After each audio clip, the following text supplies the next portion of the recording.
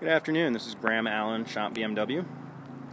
Showing a quick video of this uh, gorgeous Estoril Blue M Sport 2014 435. The car has X-Drive and a manual transmission, so um, fairly rare, definitely a sought-after vehicle. Uh, starting up in the front, we see that the car has driver's assistance with the parking sensors, those are going to be both front and back. We also have the cold weather package, which uh, these pop up in their headlight washers blows off uh, snow, ice, that sort of stuff. Uh, we have the M Sport rims. That one's in very good shape. Driver's side rear tire and wheel. This car has uh, M Performance exhaust tips. You can see the logo there. Uh, the rear of the vehicle in very good shape. I see one slight scratch, probably from a parking lot. Coming up the passenger side, uh, this is the rim that normally gets hit on curbs. It looks to be in great shape. Sorry for not centering it there. Side of the vehicle, don't see any blemishes. I'm sure it has a couple of small ones, but I am not seeing them as I'm looking at it. And the last rim, also in great shape.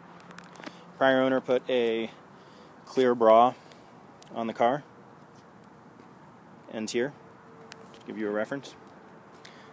It's a uh, product that protected the front of the vehicle from uh, rock chips, sandblasting, the kind of stuff that you encounter often in a Colorado winter.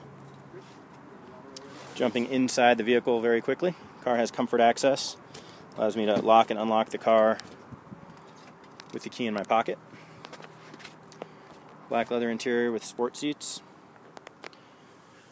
adjustable side bolsters, adjustable thigh support,